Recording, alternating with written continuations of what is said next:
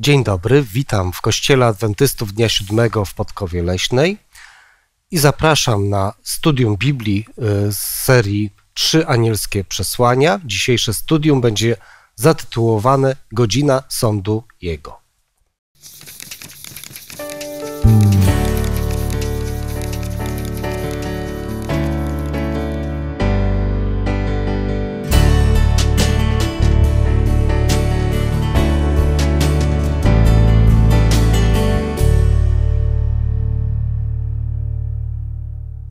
Dzisiaj ze mną będą rozmawiać, będziemy rozmawiać w gronie następujących osób: Beata, Kuba i Janusz. Ja mam na imię Remigiusz. Rozpoczynając dzisiejsze studium, pomódlmy się, aby poprosić Boga o Jego prowadzenie w tym naprawdę ważnym studium. Łaskawy Boże, Panie nasz Ojcze, to jest ogromny przywilej, kiedy możemy otwierać Pismo Święte i czytać o pięknej prawdzie, o zbawieniu w Jezusie Chrystusie, o Ewangelii wiecznej. I dzisiaj, Panie, kiedy będziemy rozmawiać o tym, że nadeszła godzina sądu, to chcemy, Boże, ujrzeć Twoje piękno, Twój ratunek i Twoją nadzieję dla każdego. Bo chociaż sąd kojarzy się z czymś przykrym, to jednak w połączeniu z Ewangelią widzimy, że jest to niezwykłe połączenie, które jest pełne nadziei dla każdego. I chcemy, Panie, dzisiaj właśnie studiując ten temat, zobaczyć głębie Twojej miłości. I bardzo Cię prosimy o Ducha Świętego, aby dał nam właściwe zrozumienie i taką radość w sercu, że mamy kolejny raz możliwość właśnie rozmawiać na ten temat. I proszę o błogosławieństwo i dla nas tutaj, i dla wszystkich słuchających. W imieniu Jezusa proszę o to. Amen.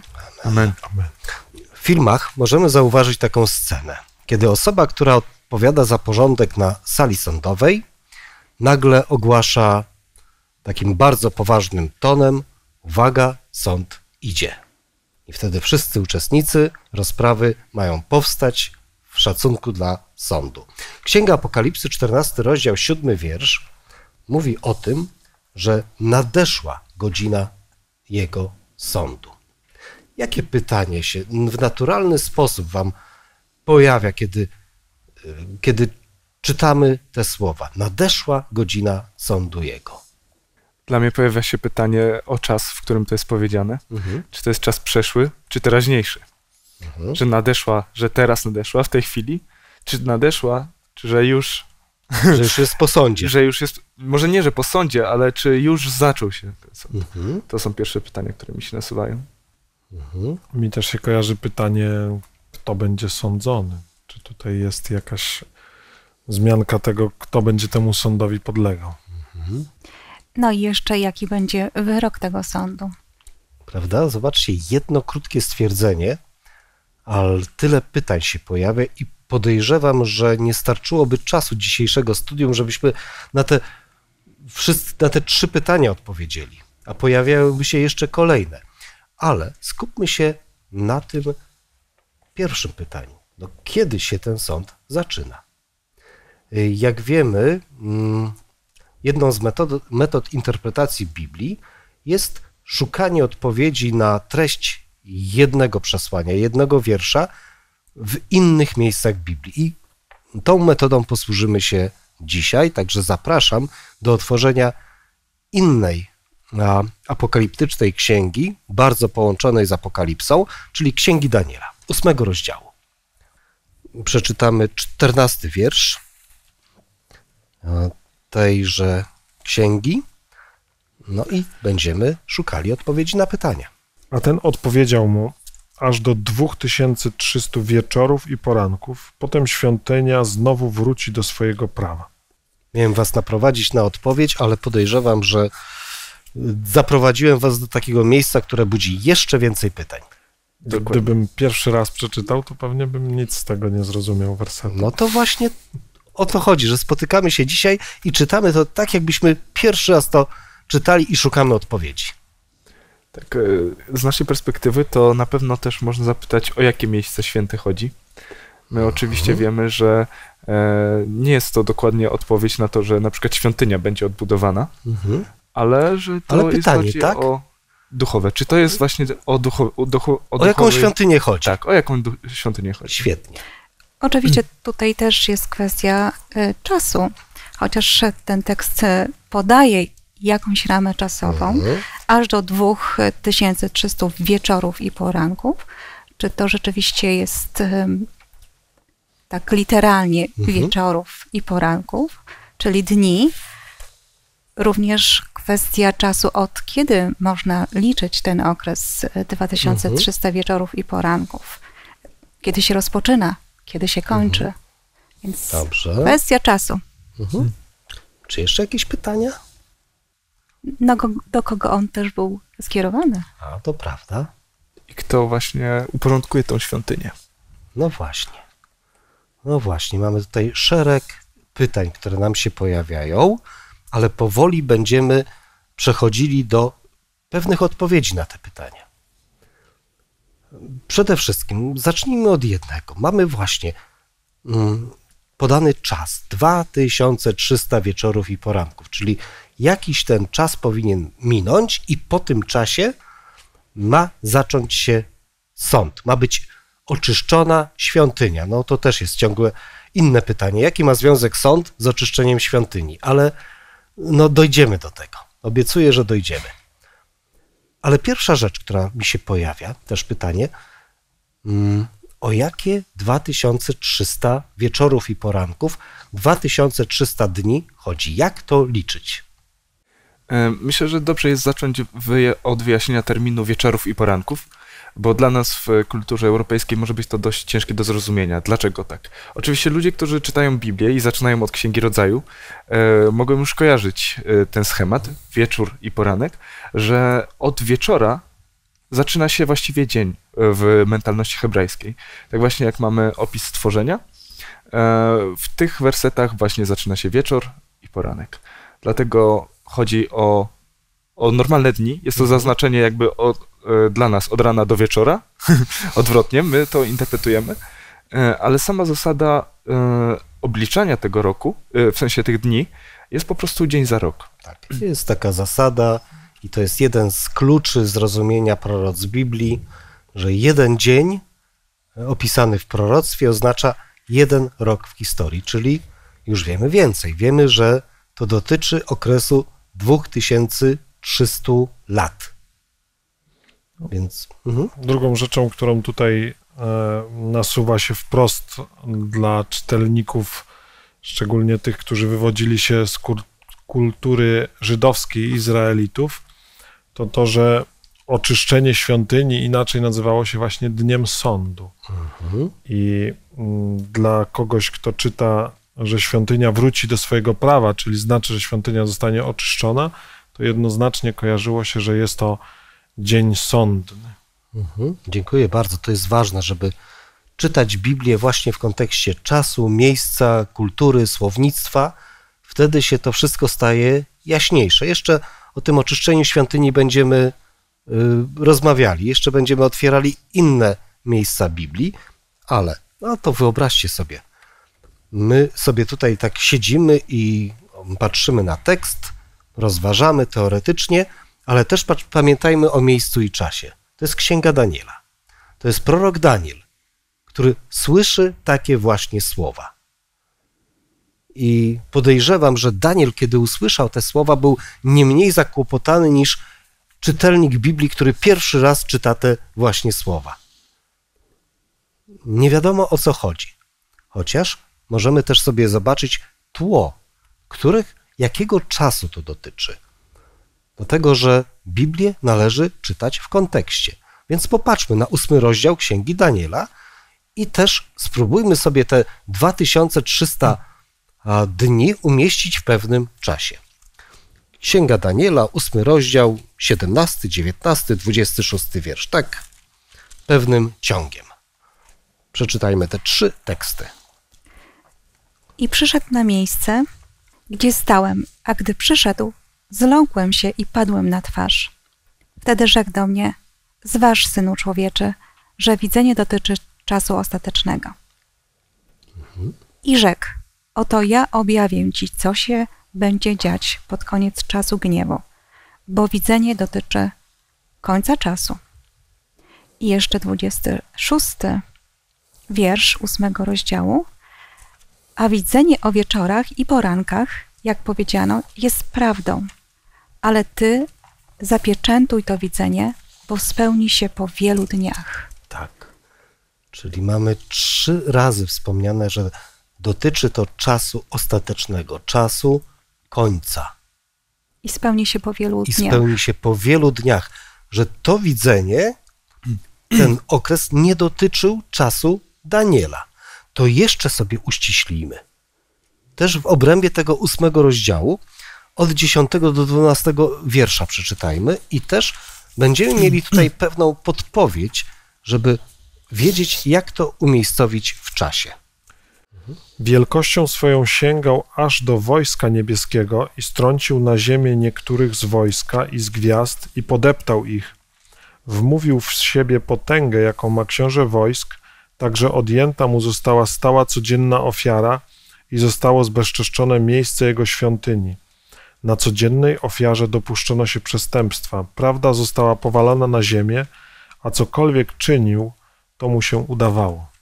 Mhm, Dziękuję. Zobaczmy, mamy tutaj umieszczone też w historii. Mamy na początku y, dwie siły, które walczą ze sobą. Jedna jest przedstawiona jako baran, później jako kozioł. Nawet wprost y, Księga Daniela wyjaśnia, że baran to jest królestwo Medii, Persji, kozioł to jest Grecja, a później mamy dramatyczne wydarzenia. Czego dotyczą te dramatyczne wydarzenia? Kim jest książę wojsk tutaj? E, właśnie możemy zobaczyć, że, książ- że nie jest to taka e, dosłowna symbol, nie, nie jest to tekst dosłowny, ponieważ e, jak wiemy, sk- skoro Gabriel przyszedł, widzimy też to w dziesiątym rozdziale i Mhm. każdy, kto chciałby e, sobie może jeszcze zobaczyć, że tam e, właśnie jest doprecyzowane, kim jest książę wojsk, kim jest książę wojsk i tam jest opisane to, że jest to e, anioł Michał, który walczy z książem właśnie perskim. Mhm. I co jest ciekawe, że ten książę perski na pierwszy rzut oka może się wydawać, że to jest postać historyczna, ale skoro anioł z nim walczy, to po prostu jesteśmy świadomi tego, że to nie jest postać historyczna, tylko jest to jakaś postać, która się sprzeciwia siłom Bożym. I dlatego możemy to umiejscowić właśnie e, w tej też sferze takiej duchowej. Mhm.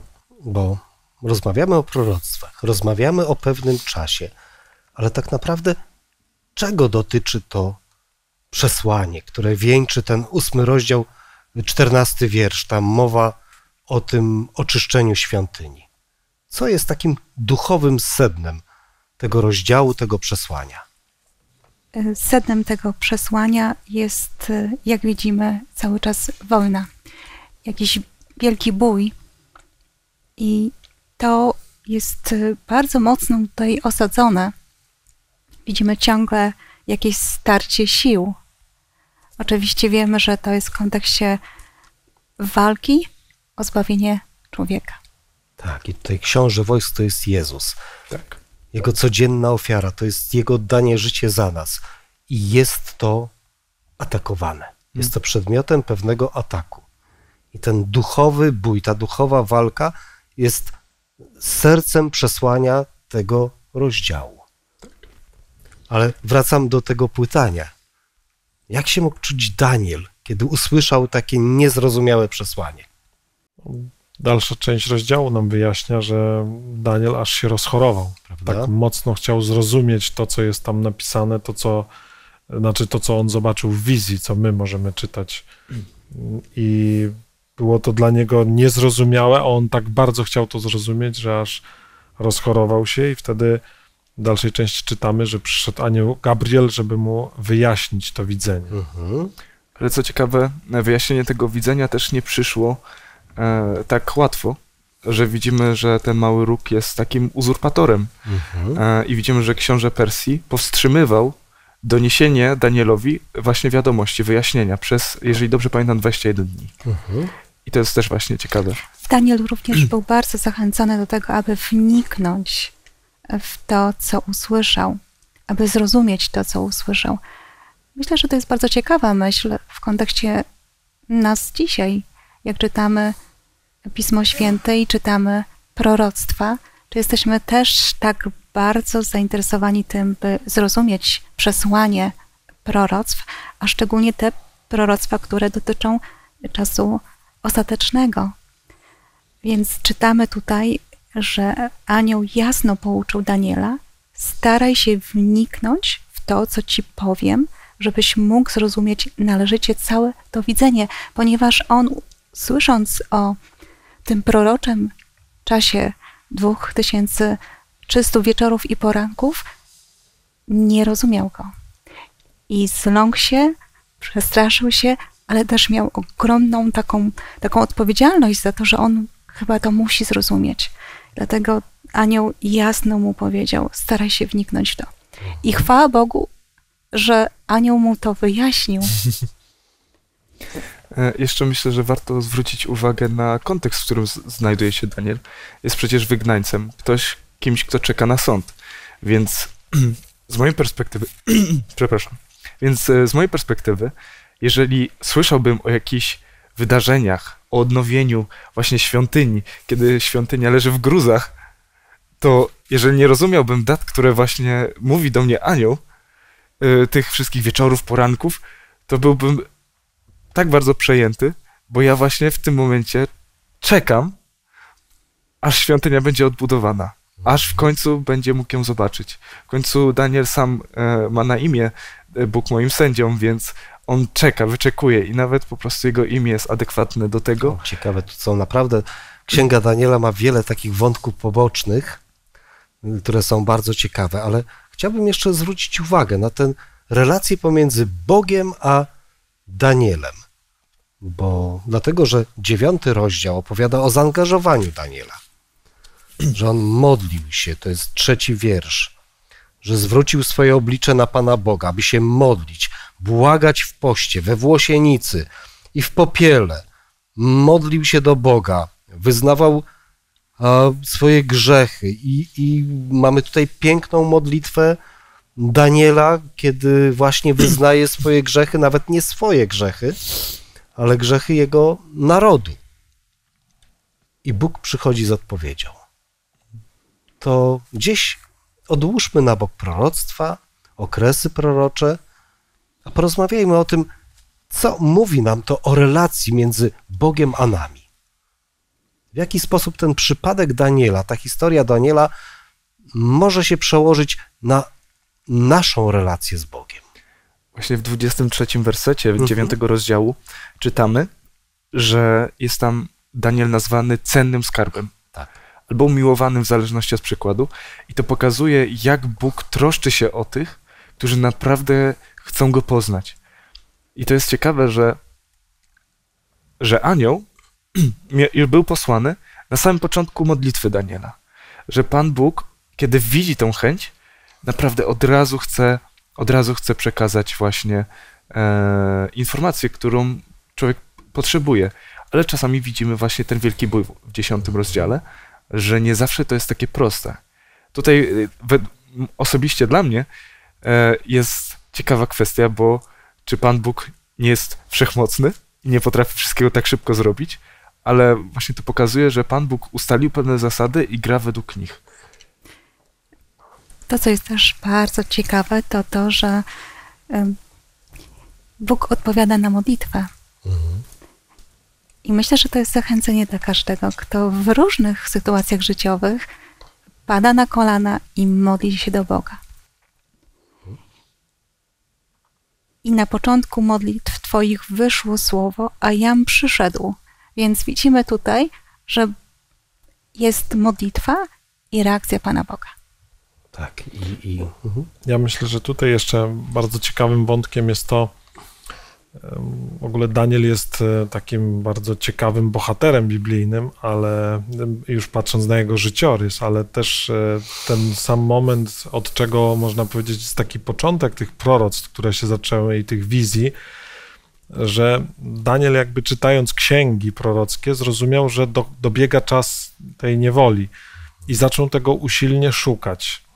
I kiedy zaczął szukać, Bóg po kolei zaczynał mu te wizje odkrywać, aż do tej, tej wizji, którą teraz czytamy, gdzie on tak usilnie chciał ją zrozumieć, że, że się pochorował, i później przyszedł do niego anioł. I myślę, że to jest taka nauka dla nas, bo niektórzy ludzie mają pretensje, dlaczego Bóg tak nie objawi wszystkim, wszystkiego. Dlaczego, nie wiem, nie, nie jest to tak, można powiedzieć, że to nie leży na ulicy, ale Bóg chce, żebyśmy tego szukali, bo kiedy tego szukamy, to On rozumie, że my tego potrzebujemy, że to nie jest dla zaspokojenia naszej ciekawości.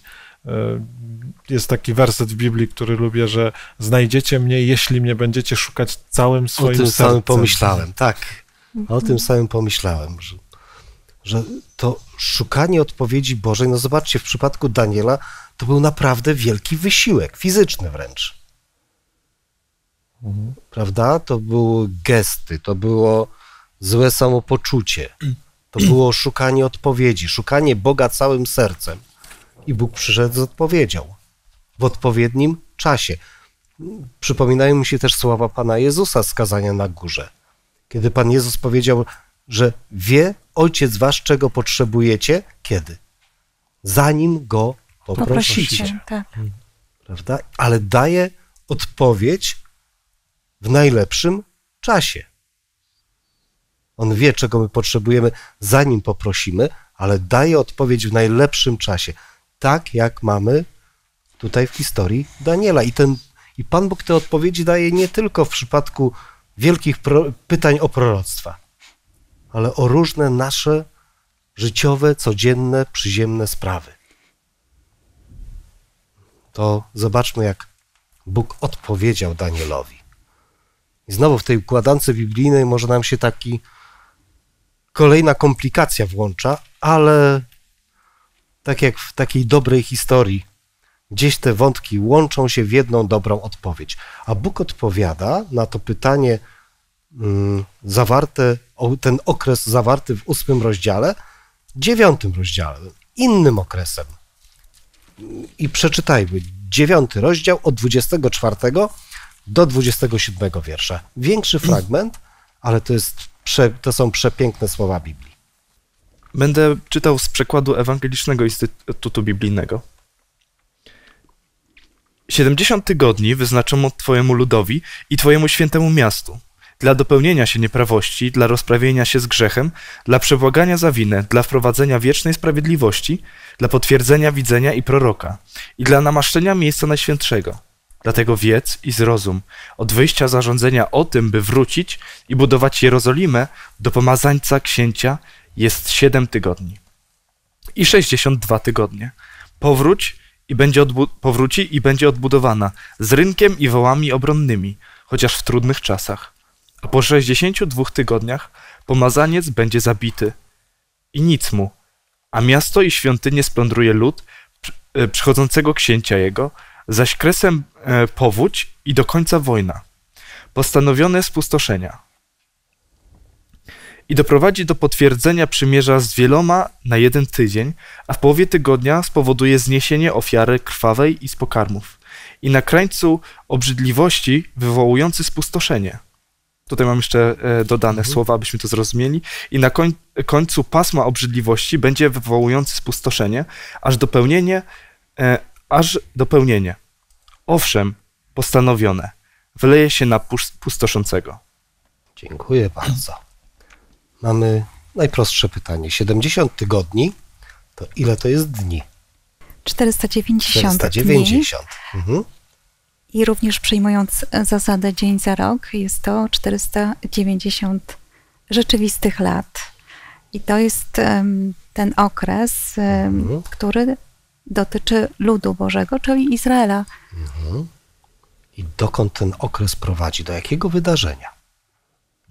No, ten ostatni tydzień. Ten ostatni tydzień jest, e, powiedziane, że zawrze ścisłe przymierze. Mhm. Jedyną interpretacją, jaka nam tutaj nasuwa się, to jest śmierć Jezusa Chrystusa, który jest przypieczętowaniem tego przymierza, które Bóg zawarł z narodem W połowie tygodnia a, zniesie ofiary krwawe i z pokarmów. Którego momentu to dotyczy? Dotyczy to momentu, kiedy Mesjasz e, złożył ofiarę. Tą e, najważniejszą, najpiękniejszą ofiarę za e, ludzkość. I ta ofiara nie tylko dotyczyła ówczesnych Izraelitów, ale każde Boże dziecko, które przyjmuje Chrystusa jako Zbawiciela. Jeszcze w 25 wersecie mamy bezpośrednio napisane, że od wyjścia zarządzenia o tym, by wrócić i budować Jerozolimę do pomazańca księcia. Czyli jest to okres od dekretu, w którym ma być odbudowana Jerozolima, bezpośrednio do mhm. właśnie pomazańca. I tutaj jest bardzo ciekawe słowo użyte, bo jest właśnie użyte słowo pomazaniec. Jedno, I to jest jedno z dwóch miejsc, w którym ono zostało użyte. Mhm. Jeżeli dobrze pamiętam, to zostało jeszcze użyte w Izajaszu 53 mhm. tylko. Tak. Są dwa bezpośrednie wskazania na Mesjasza w tak Biblii, tak które mamy w Starym Testamencie. Mamy, mamy ten centralny moment śmierci Jezusa na krzyżu. Ten moment podkreślony, pamiętacie jakim wydarzeniem w świątyni, gdy, gdy Jezus umierał na krzyżu? To, to, to wydarzenie w świątyni potwierdzało, że odtąd już ofiary nie są potrzebne. Pamiętacie, co, co to było za wydarzenie? Rozdarła się w świątyni tak. zasłona, która oddzielała miejsce święte od tak. najświętszego, tam gdzie wnoszono, mhm. znaczy miejsce święte, gdzie wnoszono ofiary. Tak, taki nadnaturalny sposób. A to była naprawdę bardzo solidna zasłona. Tak, był to dzień Paschy, tak, dzień Paschy, tak. Mhm. Jeszcze jaki wyjątkowy. Tak. Bo ten dzień Paschy zdarzył się w szabat, a to właśnie jest tak. bardzo rzadkie mhm. wydarzenie. Mhm. Ale, ale w ten sposób podkreślone, to nowe przymierze, to centrum zbawienia. Bo tak naprawdę proroctwa mówią o zbawieniu. Dokładnie. Do tego momentu Bóg prowadzi, ale ciągle mamy zawieszone jedno pytanie. To kiedy zaczyna się ten okres 2300 lat? A jak będziemy wiedzieli, kiedy się zaczyna, to będziemy wiedzieli, kiedy kończy jeszcze mi się pojawia jedno pytanie. To, to jaki związek tutaj ma ósmy rozdział z tym okresem dziewiątego rozdziału? Ja szybciutko podpowiem. To jest jedno kluczowe słowo w tym 24 wierszu. I dla Daniela, który rozumiał język hebrajski, to było bardzo zrozumiałe. Kiedy usłyszał słowo hatak, oddzielono. Oddzielono jakąś mniejszą całość od większej całości. Tu mamy dwie liczby 2300, 490. No nie będę pytał z szacunku dla Was, która jest większa, która jest mniejsza. Ale to mówi, że te dwa okresy mają ten sam punkt startu, dlatego że okres 70 tygodni jest oddzielony od 2300 wieczorów i poranków jako szczególny okres. No to poszukajmy w historii a tego momentu, kiedy wyszło słowo o odbudowie Jerozolimy. Z pamięci może pamiętacie, gdzie to jest i który to był rok w historii? No, tak naprawdę były trzy dekrety, ale mhm. ten ostatni był takim skutecznym, można tak. powiedzieć który wydał Cyrus. Możemy to, ten opis znaleźć w księdze Ezechiela. E, Ezdrasza. Ezdrasza, przepraszam. W siódmym rozdziale księgi Ezdrasza, tak? Kiedy, kiedy mamy mm, dekret króla perskiego dający Jerozolimie samodzielność finansową, własne prawo, właściwie możliwość samostanowienia. Tak, czyli był to y, rok 457. Siódmy przed mhm. Chrystusem, tak, wydany jesienią. Tak. I od tego dekretu y, z tego roku do Mesjasza miało upłynąć 69 y, proroczych tygodni, tak czyli te 483 lata. Mm, jeżeli dodamy taką liczbę lat do jesieni 457 mhm. roku przed Chrystusem, to y, zakończy się ona jesienią 27 tak roku jest. po Chrystusie, a wiemy, że to był ten moment, kiedy Chrystus rozpoczął służbę, służbę mhm. tak? Mm, chrzcząc się w rzekach Jordanu. Mhm. No i jeszcze pociągnijmy to dalej. Trzy i pół roku. Jego prawda? służby, tak. Jego służby. Mamy 31 rok naszej ery i moment ukrzyżowania Pana Jezusa. Mamy też 2300 wieczorów i poranków. Zaczynają się w 457 roku, no więc szybciutko przeliczmy. Minus 457, bo to jest przed naszą erą, 2300 dochodzimy do. Do roku 1844. Tak. No, I pojawia mi się tu kolejne pytanie. Jeżeli już wiemy, no to, to jaki sąd się zaczął? Jakie oczyszczenie świątyni? Mm, myślę, że możemy się odnieść do księgi e, kapłańskiej, tak do 16 rozdziału, mhm. E, które jest w ogóle centrum egzegetycznym pięcioksięgu. Ta księga jest w środku. Mhm. E, ten rozdział jest też w środku księgi. I jest to najważniejszy rozdział pięcioksięgu. Tak jest. No to zajrzymy do jednego wiersza tylko, bo nie mamy czasu, żeby przestudiować ten, ten, to piękne święto Jom Kippur, ale do 16 wiersza 16 rozdziału Księgi Kapłańskiej. Tak dokona przebłagania za świątynię z powodu nieczystości synów izraelskich i ich przestępstw spowodowanych wszystkimi ich grzechami.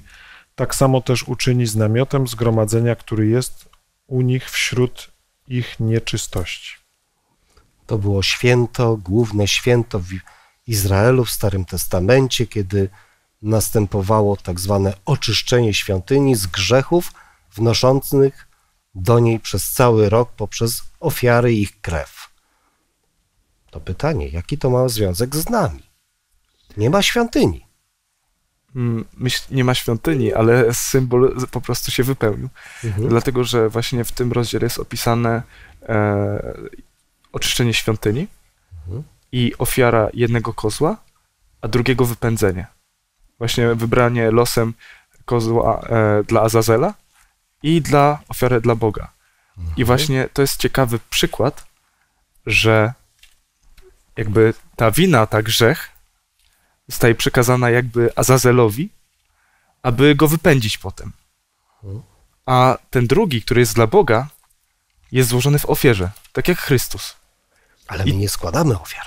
Nie składamy, ale ona, on był typem na Chrystusa. Mhm. I to jest przedstawienie sądu, że Chrystus zmarł za nas, wziął nasze grzechy, ale konsekwencje będą poniesione także przez kozła, który mhm. w sensie nie kozła, tylko przez tego domniemanego Azazela. I warto przypomnieć... Czyli właśnie sąd, pokazuje to tak. sąd. I warto przypomnieć, że żyjemy też w rzeczywistości, kiedy jest świątynia. Tak, tylko Ale że świątynia nie w niebie, prawda? Dokładnie. I tam Jezus prowadzi swoją służbę. Mhm. I tam zaczyna się w pewnym momencie sąd. To tak e, wyprzedzając troszeczkę, jaki cel może być tego sądu? To jest chyba ciekawa informacja, że sąd Boży trwa już teraz. Myślę, że jednym głównym celem e, jest na pewno to e, jakby główne założenie sądu jest tym, żeby nas zbawić, wybawić, mhm. oczyścić z zarzutów, ale też, żeby oczyścić Boga z zarzutów. Mhm, Ten sąd tak jest, jest, potrzebny e, nie tylko e, ludziom, aby ich skazać, już w poprzednich lekcjach mówiliśmy też o tym, ale właśnie po to, aby pokazać, że Bóg miał rację, że Bóg jest ten, który jest sprawiedliwy i który, który po prostu e, zna wszystko. My żyjemy w takim e, dniu pojednania, można powiedzieć, kiedy świątynia jest oczyszczana. I w Izraelu dzień e, ten był dniem sądu, ale również i dniem dobrej nowiny dla Izraelitów, mhm. bo choć zgrzeszyli, to ich grzechy zostały przebaczone, usunięte i oczyszczone. Właśnie przez przelaną krew, e, a oni byli uznawani za sprawiedliwych.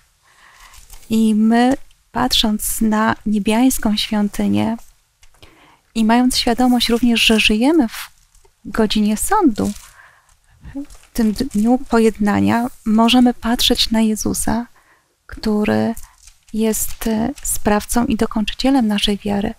To jest e, przepiękny obraz tego, że krew Chrystusa nas oczyszcza.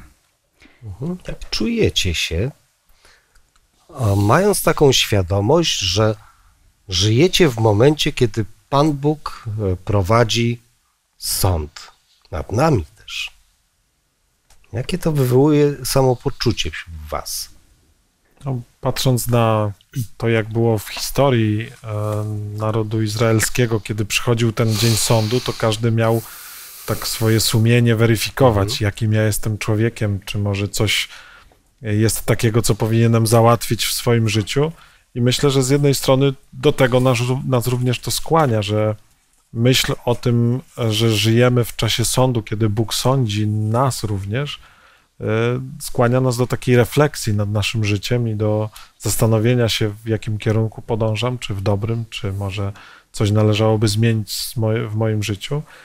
Ale druga też rzecz, tak jak Izraelici mm, składali ofiary i wierzyli w to, że ich grzechy zostały przebaczone, tak i my wierzymy w to, że Chrystus jako doskonała ofiara również zapewnia nam przebaczenie naszych grzechów. Mhm. Właśnie na przykład ja się bardzo cieszę. Jestem niesamowicie wdzięczny za to, że jest ten sąd i za to, że nie ja będę tam sądzony, tylko będę sądzony na podstawie uczynków baranka, mhm. na podstawie uczynków Chrystusa. Bo Bóg mówi, że będziemy wpisani w księgę żywota baranka i z tej księgi będziemy rozliczani, nie właśnie z naszych uczynków. To nie przypadek, że Ewangelia i sąd występują tak naprawdę obok siebie. Hmm.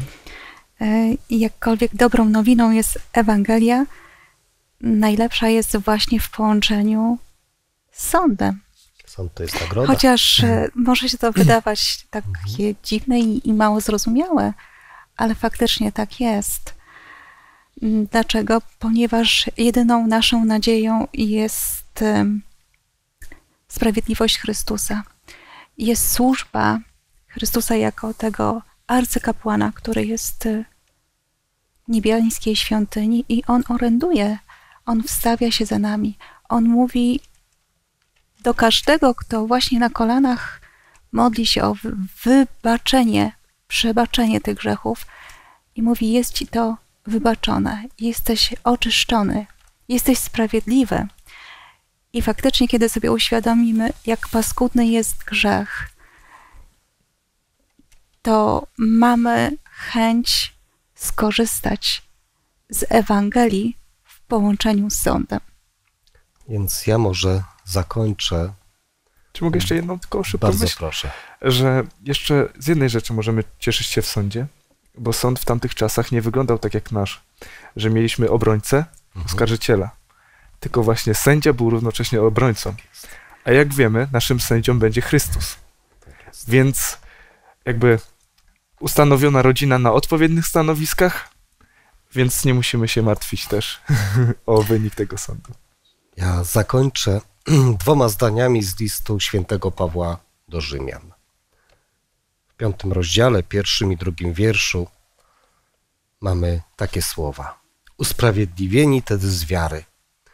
Pokój mamy z Bogiem przez Pana naszego Jezusa Chrystusa, dzięki któremu też mamy dostęp przez wiarę do tej łaski, w której stoimy i chlubimy się nadzieją chwały Bożej. I podobne słowa w ósmym rozdziale. Przeto teraz nie ma żadnego potępienia dla tych, którzy są w mhm. Chrystusie Jezusie. I to jest ta dobra nowina płynąca z informacji o tym, że nadeszła godzina sądu Jego. W kolejnym odcinku będziemy studiowali następny element tego przesłania trzech aniołów. Oddanie chwały Stworzycielowi. Zobaczymy, jaka to jest dobra nowina w oddawaniu chwały Stworzycielowi. A dzisiejsze studium zakończmy modlitwą. Dziękujemy Tobie, Boże, za ten dzisiejszy dzień, w którym mogliśmy studiować Twoje słowo. Dziękujemy, że możemy je w ogóle mieć, że możemy mieć je we własnych językach, że możemy mieć takie niesamowite narzędzia, różnego typu książki, aplikacje lub, lub po prostu studia, w których możemy studiować Biblię. Dziękujemy Ci, drogi Jezu, za to, że nam błogosławisz i że nam objawiasz tak skryte rzeczy, że nam dodajesz e, pewności, że Ty władasz nad tą historią, że Ty jesteś u władzy i że żaden uzurpator nie jest w stanie Ci jej odebrać. Dziękujemy Ci, że jesteś naszym Ojcem, że mamy wspaniałego brata i za to, że nas błogosławisz Duchem Świętym. Dlatego, Panie, bądź wywyższony i prowadź nas do Twojego Królestwa prosto, żebyśmy mogli się już niebawem zobaczyć nie tylko w modlitwie, nie tylko w Słowie Twoim, ale także bezpośrednio. Po prostu Cię zobaczyć. O to Cię prosimy, drogi Jezu Chryste. Amen. Amen. Zapraszam serdecznie na kolejne studium pod tytułem Oddawanie czci Stwórcy.